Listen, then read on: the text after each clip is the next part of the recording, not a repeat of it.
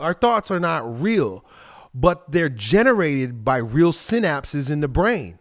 Right? Thoughts are concepts. They're conceptual. You can't like you can't grab a thought, right? You can't you can't cut open the brain and find the thought. Yo, Elliott. You got it, boo, uh, Aaron. Blonde in the belly of the beast and Roosh V. It was such a great interview. They did a really good job.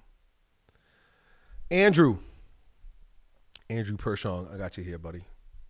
Yo, Elliott, curious what your thoughts are about diet and exercise as it pertains to mental health. I started eating meat and cooked vegetables only, uh, a little bit of carbs like potatoes, berries, and rice, and I have much less anxiety. Considering trying carnivore to take it to the next level, but scared uh, if I do carnivore that I'll be sensitive to everything when I get off. Wondering what your thoughts are on this. So uh, the first question, yeah, absolutely, 100%. Uh, your diet and exercise is going to, bro your mental health is is physiological. It's crazy because you know we think of thoughts as something that's sort of ephemeral, right? Like thoughts are concepts, they're ideas. They're they're not real. Our thoughts are not real, but they're generated by real synapses in the brain. Right? Thoughts are concepts. They're conceptual. You can't like you can't grab a thought, right? You can't you can't cut open the brain and find the thought, right? So we're talking about mental health, right? Which is is is uh, expressed through your thought world. Um, but those thoughts are generated and those thoughts are colored by literal neurotransmitters that are popping and clicking and, and shooting around in your brain. And so those neurotransmitters are highly, and not just your brain, your brain here, but also your brain here. There's really fascinating work re- done right now, which has been around for quite a while, on the stomach being the second brain. And so diet has a lot to do with that as well. I'll go into it. But if we're going, if the content of the thoughts we're having are to be positive, that means the chemical reactions and the physiology that supports it needs to be healthy, right? And where does that come from? It comes from the foods that you eat and it comes from the activity you engage in.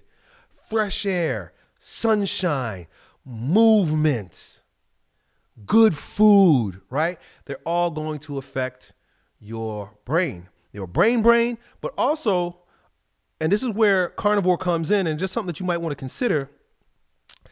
The the, the they call they have a new word for it. Uh, the biosphere, I think, right? Like basically the content of good and bad bacteria within the gut, right? There's I, I back in the day when I studied this stuff, they didn't have the new the new term. It's called like biosphere or some shit like that, right? They use this. It's a new term, but basically, we would talk in terms of dysbiosis being an imbalance between the good and bad bacteria in the gut, and diet, particularly uh, elimination diets, and in particular carnivore diets, have been known to heal gut dysbiosis by creating a uh, a more friendly gut biosphere, you know, better bacterias in the belly through carnivore diets through eat and, and i think it probably has to do with you know being in ketosis as well and the elimination of a lot of toxins that are found in grains and vegetables and of course the you know the toxic response to sugar and so carnivore is kind of like a uh, an elimination diet. I don't know if I'm convinced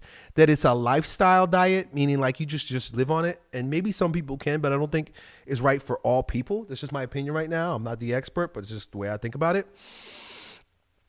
But if you're dealing with any kind of problems, any kind of problems, any kind of physiological or mental problems, it is I think it's of your I think it is I think it's a good idea to do an elimination diet, particularly a carnivore diet.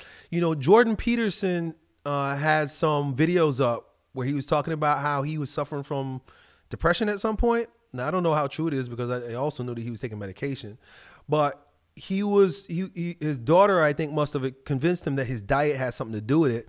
And he was eating, you know, he started feeling better after eliminating like grains and sugars. I think he's got an interview on Joe Rogan where he talks about this. But then he was just eating vegetables and meat, and he was doing all right. He was feeling a lot better, but it was still just not like 100. percent And then his daughter said, "Hey, why don't you take out the meat, take out the um, take out the vegetables and just eat meat?" And then all of a sudden, like all his depression or whatever he's problem uh, having in his brain uh, and his thoughts cleared up. And so, you know, he became a proponent of the carnivore diet as a means to um, healing mental health issues. So there's there's anecdotal evidence, and I do believe that if you do your research, you will find scientific evidence to the, the concept that you can, first of all, heal your gut dysbiosis by restoring the the the, the biosphere or whatever you know whatever that term is. Hopefully, I'm saying the right term of your gut, right? Um, which will have effects on your brain. It's an elimination diet.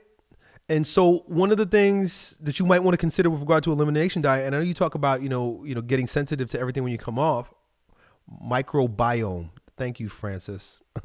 microbiome. That's what they call it. Um so when you say you do this uh elimination diet and you feel great and you do it for a couple weeks or whatever, what's beautiful about an elimination diet is because the diet is so pure. You're just eating meat. That's all you're doing. You're eating meat. When you you could very slowly start introducing things one at a time. Boom, boom, and seeing how it works. So say say uh, you eating just meat, and then like okay, let me try berries, right? And you just add berries just back to your diet. Wait like a week. Hmm. Do I feel better or do I feel worse? If you immediately start feeling worse, you know, oh, mm-mm, no more berries. You take the berries out or you, then you try a different thing, right? And so on and so forth. So you can slowly start reintroducing back into your diet various things that maybe you want to be there. But if you just if you do an elimination diet and then you just go back to eating everything, you ain't gonna know what the culprit is. You don't know what the culprit is. You don't know what it is that's screwing you up. So it's well worth it. It's well worth trying. It's well worth doing. I would I would say I would give you a thumbs up. And um, just come full circle, absolutely 100%. Diet and exercise affects your mental health. We also know that lifting increases testosterone, and t, and T levels, low T levels are linked to depressive mind states. Did you know that? That a lot of a lot of our problems as men that um, you know that are dealt with uh, on an individual basis, meaning like, oh, you got ED, right, erectile dysfunction, or you have um, depression, or you have anxiety, or you have, you know, all these various different things that people have. A lot of them, a lot of them can be linked back to low T.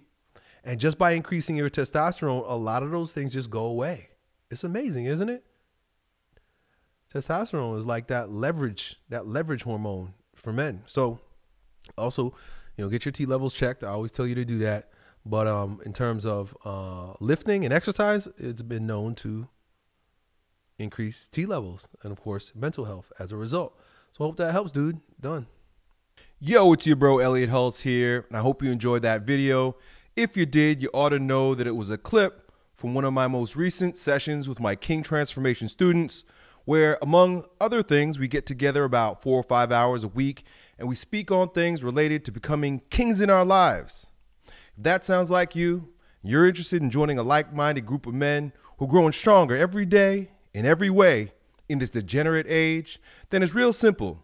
Just follow me on Instagram and then DM me the word king, K I N G, and me and my team will get back to you with the details to see if you qualify to join us. Hope to see you at our next meeting. Done.